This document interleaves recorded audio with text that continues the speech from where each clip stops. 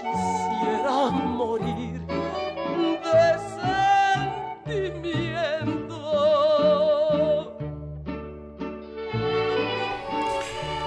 Un día como hoy se evaporó esta voz, esta voz que para mi gusto ¿Cómo se evaporó si ahí está? La acabamos de escuchar. No, pero ya en vivo y a todo color, estas son una de las muchísimas grabaciones que hizo. 78 discos dejó grabados. Lola Beltrán se presentó en los escenarios más importantes de Estados Unidos y de Europa.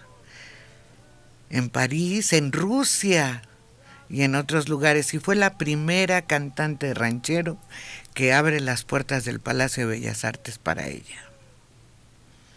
Mm. Es que me acordé de una frase hace... Vicente Rojo platicaba con alguien, ese hombre que falleció hace unos días. Él estaba preocupado por la muerte y su amigo, no me acuerdo quién era, le dijo, somos inmortales. No te preocupes. Lola es inmortal. Ahí están sus grabaciones. Y van a quedar por siempre. Por siempre. Su estilo, lo que hizo. Todo para siempre va a quedar Lola. Liliana. Fíjate que siento que es una de las mujeres, o la que más categoría le dio a lo que es la música ranchera a nivel internacional, ¿no? El que fuera la primera en presentarse con este estilo de, canciones en el Palacio de las Bellas Artes, el que fuera reconocida por personajes de talla internacional como Sofía Loren y muchas personas que la llegaron a escuchar durante sus giras en Europa, en otros lados del mundo, pero además esa energía, proyección, dramatismo que, le imprimía a todas las canciones, vamos, creo que no fácilmente alguien la podrá igualar, ¿no?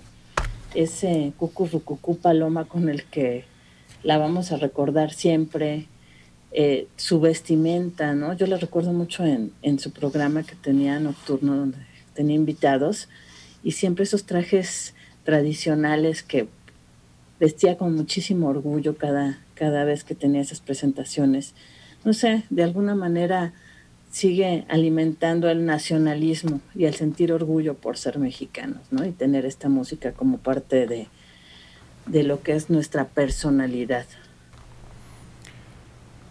Un día como hoy también está en las efemérides. Ayer hubo un programa, Heraclio Cepeda, en su nacimiento Ahora sí, ¿cómo le decían? Laco. Laco. no se me iba a olvidar, Laco. Un cuentero que se hacía llamar. Tienes toda la razón, Mario Cuentero. Nada como eso. Premio Nacional del Cuento. Recibió la Belisario Domínguez, profesor de la Escuela Preparatoria en San Cristóbal de las Casas pero es otra vez su obra lo que los vuelve inmortales, lo que los hace trascender. Cofundador y miembro del Comité Central del Partido Socialista. Yo no me acordaba, pero precandidato a la presidencia y candidato a senador por Chiapas diputado federal, no me acordaba que se había dedicado a la política en algún tiempo como militante del Partido Obrero Campesino. Y cualquiera de sus obras bien vale la pena de sus pláticas, cuentos, novelas, poemas que hizo y ayer platicó en el programa que pasaron de él cómo conoció a su esposa y se la robó. Al día siguiente de que se conocieron se la llevó. Uy, qué rápido. El día que se conocieron se flecharon. Y ya. Ella lo cautivó con su conocimiento, con su dulzura, con su sensibilidad. Y vámonos juntos. Sí, dijo, si la pierdo, ya perdí todo. La- Así que me la llevo. Laco está cumpliendo un año más también de que nació. A ver, me están interrumpiendo que tienen a Laco aquí. A ver, a ver, a ver si es cierto. Toda mi vida he tenido un gran interés en el estudio de la historia en general y de la historia de Chiapas en particular. Eh, mi biblioteca misma eh, ocupa un gran número de, volúmenes sobre la historia del sureste. Ahora, cuando vas a hacer novela, no te puedes frenar a la imaginación, pero cada personaje debe de estar justificado en esa época que está, que está uno describiendo. Toda mi obra está en Chiapas. Yo creo que la única forma de ser universal es ser profundamente local. Únicamente cuando uno tiene la raíz profunda, puede uno aspirar a estar en cualquier lugar del mundo.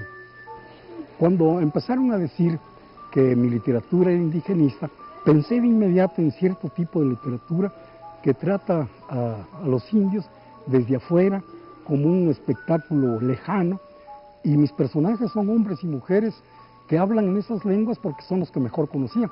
Si hubiera conocido cosmonautas, a lo mejor escribo sobre cosmonautas. ¿no? Entonces, yo rechazo que mi literatura sea indigenista. Mi literatura es, eh, y, y no toda, sino mi primer libro es acerca de los indios. Los personajes son indios e indias. No daba consejos, pero ¿qué tal sus opiniones? Muy valiosas.